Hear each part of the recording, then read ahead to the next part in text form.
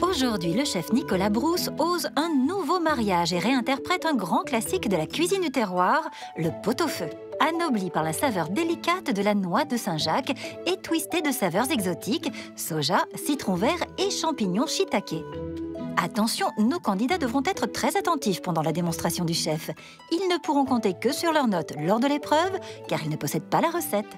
Mais pour le moment, Déborah et Arnaud sont prêts à boire les paroles de notre chef invité. Nicolas Brousse avec nous. Qu'est-ce qu'on fait de beau Je suis parti sur une inspiration d'un lendemain de pot-au-feu, où il reste toujours un peu de bouillon dans le frigo, toujours des quelques légumes. Là, c'est- nos recettes euh, de la veille. hein. C'est ça. D'accord. C'est comment utiliser les restes en fait. Tu me plais beaucoup, toi. Hein Voilà. Non, mais il reste toujours quelques légumes euh, crus quand on ne sait pas quoi faire. Ah ouais, ouais, bien Ou le joué. dimanche, quand on a bien mangé euh, le midi, dimanche soir, on peut faire quelque chose de sympa. Donc pour ça, il faut des coquilles Saint-Jacques. Et puis après, quelques légumes. euh, là, on a pris une carotte jaune, une carotte euh, fan, un bout de navet, un oignon nouveau, des pousses de soja et des shiitake frais. D'accord. Les champignons euh, que je préfère aux champignons noirs euh, déshydratés. Et les champignons de Paris, ça te branche pas?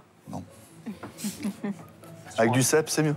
Ah bah oui. Le pot-au-feu, moi, c'est vrai que j'aime, j'aime pas ça. euh, c'est un peu les cuisines de grand-mère. Et puis même, euh, je suis pas très bouillon. Et, euh, et puis là, le fait de un petit peu euh, le repepser avec bah, du citron vert, de la sauce soja, tout ça, je me dis, ah, là, ça peut être vraiment pas mal. Allez, on commence On commence, allez. Pour cette recette, les Saint-Jacques, d'abord, on va les faire comme un gravlax. Donc, comme un saumon gravlax. Donc, c'est-à-dire, on va mélanger le sel et le sucre, temps pour temps. D'accord.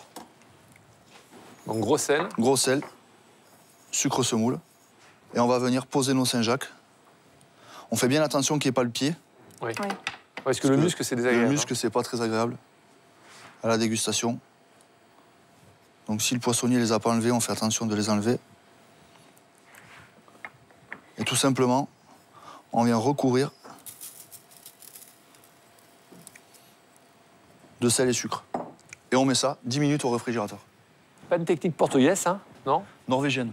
Norvégienne Parce que Je sais que les Portugais euh, mettent souvent euh, leur euh, poisson dans du gros sel 10-15 minutes avant la cuisson.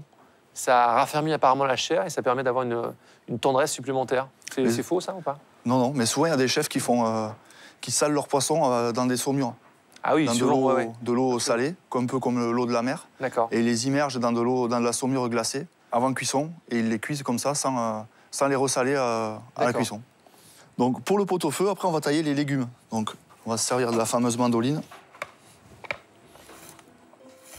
Quand je vois que le chef se saisit de la mandoline, petit coup de stress, sueur froide dans le dos. J'ai jamais utilisé cet ustensile et ça me fait clairement peur parce qu'il y a des bien plus malins à laisser des bouts de doigts. Euh, J'ai pas envie que ça m'arrive. Et du coup, quand je me projette euh, et que je me vois en train de cuisiner, je me dis que je vais sans doute me servir du buzz pour, euh, pour que le chef euh, me donne un coup de main sur, avec cet ustensile. On va faire pareil avec le navet. Ce qui est assez épatant, c'est que c'est très religieux quand tu travailles, on n'ose pas parler. Il impose aux garçons. hein. Voilà, la même punition que pour la carotte, on taille le navet en julienne. Les proportions, carotte, navet, c'est à peu près. À peu près, on ou fait à peu près temps pour temps. ouais. D'accord. Et là, on va la tailler tout simplement en rondelles, Rondelle biseau. en biseau. Donc c'est quelque chose de très simple. Juste faire attention au taillage, Mhm. qu'il n'y ait pas de... Ouais, que ce soit régulier. Ouais, qu'on n'ait pas de, de mauvaises surprises après à la dégustation. Il faut, si les légumes sont bien taillés, il y aura une cuisson assez homogène. Donc là, on va mettre de l'eau salée à chauffer. Il faut bien saler l'eau. Et on va préparer de l'eau glacée pour arrêter la cuisson de nos légumes.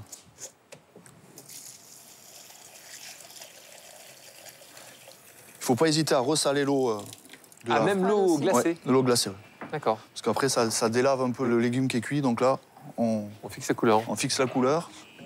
En attendant que son eau bout, le chef Nicolas Brousse émince ses champignons. Shiitake, euh, cher candidat, vous connaissiez? Oui, oui, oui. Mais j'aime pas ça, les champignons. C'est vrai? Ouais. Pas du tout? Non. Ça tombe bien. Un filet d'huile d'olive?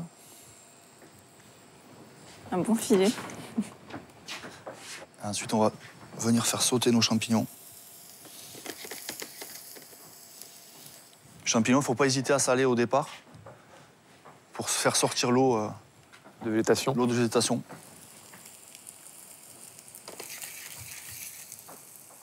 Le temps de cuisson des champignons, il faut prévoir combien? Ça, c'est euh, À Bistolenas. tout à fait. D'accord. J'ai pas osé le dire, ça. Qui ça dit? À vue de nez. À vue de nez, ouais.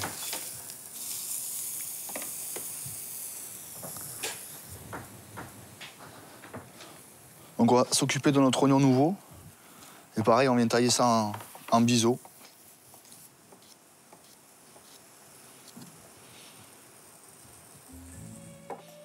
Attention, les shiitakes sont déjà à point. Le chef les sort du feu et les transfère immédiatement dans un autre plat pour stopper la cuisson. À quoi vous voyez que la cuisson est bonne, là? Là, on voit que c'est un peu coloré, on voit qu'il n'y a plus d'eau qui sort. Après, les champignons, même s'il y a une légère euh, sous-cuisson, c'est pas grave parce que Mm. c'est bon, euh, champion de Paris, par exemple, c'est bon cru, euh, juste avec un filet d'huile d'olive et du sel. Donc il vaut mieux que ça soit un peu en, en dessous de la cuisson parce qu'après, avec le bouillon, on va finir de cuire le- les légumes. Que trop cuit, après, c'est trop tard. Mm, mm. Et là, tout simplement. Là, on cuit tous les légumes en, même les- temps. ouais. Parce que vu qu'ils sont à, peu près la même taille, D'accord. voilà. Dès que l'ébullition reprend, il faut juste les blanchir. On veut que ça reste euh, assez croquant à la dégustation. Donc, dès que l'ébullition reprend, on stoppe On stoppe, et on met dans la, dans la on glace. égoutte et on refroidit en glace. Voilà, là on est bien.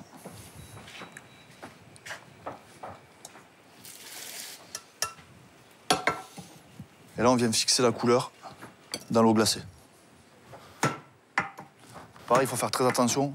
Dès que c'est refroidi, comme là, on les sort. Il ne faut pas les laisser Oui, pas les laisser. 3 à 4 D'accord. minutes, euh, sinon après on délave le produit. On va pouvoir sortir nos Saint-Jacques. Ça vous plaît là pour commencer ou pas Ah ouais, ça sent On peut demander très au chef bon. de changer sinon. hein. Ça a l'air très bon. On peut le taquiner un peu. Ah ouais, c'est bon, ça va. Alors Là, on va juste les passer sous un filet d'eau pour enlever l'excédent de sel et sucre. Là, le fait de, de les faire façon gravlax, c'est pour les, les rétracter, c'est ça C'est pour les, les faire raidir un peu. Et euh, ça les assaisonne. euh, En même temps. parce qu'après, on va pas du tout les cuire en fait. Ah, tu, ouais, on les laisse euh, bien sûr froides.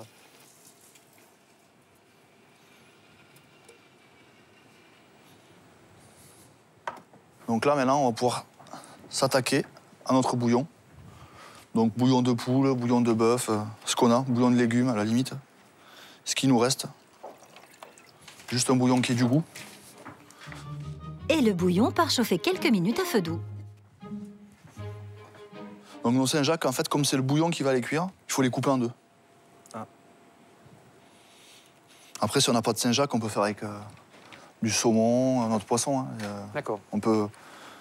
Un saumon gravlax, on coupe. euh, Quand on va verser le bouillon, ça va cuire euh, du cabillaud, ce qu'on veut. Donc à la limite, en attendant que le bouillon commence à chauffer, on peut commencer le dressage si on veut. Donc on pose quelques pousses de soja. On vient poser notre julienne de carottes navets, nos carottes en biseau. Belle couleur d'ailleurs. Mm. Vous avez quelque chose à dire au chef, euh, les enfants? C'est magnifique. euh, très vrai. Juste. Le verre d'oignon nouveau. J'adore ça, ça amène de la puissance. C'est C'est c'est pas le. On appelle ça de la c'est cébette bête, aussi? oui. Ensuite, on vient poser nos petits shiitake. Ah, c'est c'est une œuvre d'art, là. hein. Mm, ouais. C'est un plat léger, non? Ouais, c'est un plat de, ouais, de, dimanche soir, de lendemain de fête, euh, quand on a Ça besoin de, hein. de manger du bouillon. Ouais. En fait, comme j'aime pas la soupe, c'est un plat qui m'a fait aimer la soupe. C'est vrai. Après là, on peut commencer à poser les Saint-Jacques.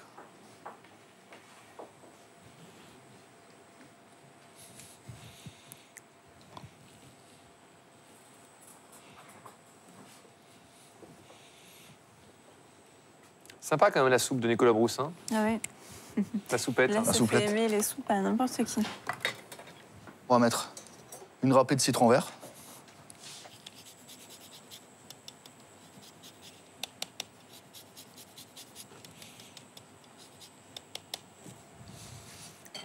Est-ce qu'il y a un ordre particulier pour le citron vert si on le met avant ou après Il faut pas le mettre trop tôt, que l'acidité Oui. cuise pas le, la Saint-Jacques, mais après, euh, et après un petit peu de réfort.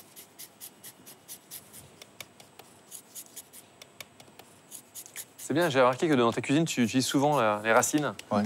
notamment de réfort. Râper comme ça, c'est. Je trouve que ça amène euh, C'est génial. vraiment un coup de fouet sur les, Ouais, surtout sur les bouillons, sur les choses comme ça. Voilà, on y est presque. Ça bout. Ça vous Donc là, on va venir amener un petit peu de sauce soja. J'aime bien l'Asie, donc euh, faire quelque chose de un bouillon un peu taille, mais pas trop quoi. Consonance sud-ouest. C'est ça. Et un peu d'huile de sésame.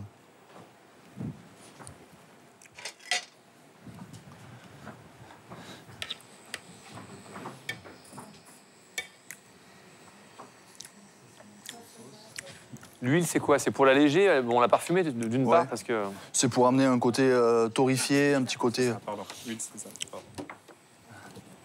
Je laisse Merci. goûter le bouillon. Merci.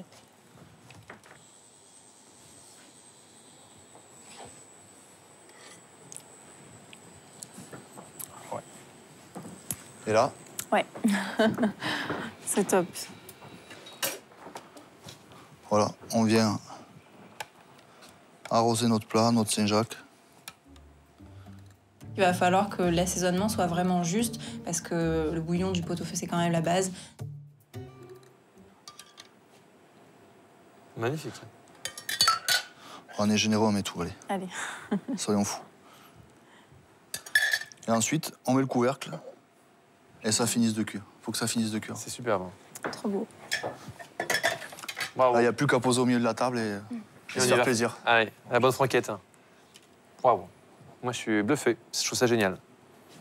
C'est magnifique. Nicolas, ça sent, mais c'est ouais, c'est super un très bon. grand plat. Bravo. Ça sent super bon. Mm. Et en même temps, ça reste très simple. C'est simple. et Euh, on réutilise des. Oh là là, oh, l'odeur de. Les produits qu'on a dans le frigo, euh, L'odeur là qui vient d'arriver, elle est, euh, elle est costaud. Et puis on récupère la recette sur france2.fr, bien évidemment. Euh, Waouh, c'est de la super top recette. Merci, chef. avec plaisir. Allez, les enfants, c'est à vous de jouer maintenant. À la fin de la démonstration, je n'ai pas d'inquiétude particulière. Peut-être sur la mandoline, euh, juste euh, éviter de me tailler un doigt, c'est tout. Je suis au taquet, quoi. Enfin, j'ai vraiment envie de... Ce petit bouillon, ça m'a ça m'a un peu motivé. J'ai vraiment envie de, de- de commencer à cuisiner et essayer de, de refaire un peu le- ce délicieux plat qu'on vient, de- qu'on vient de voir.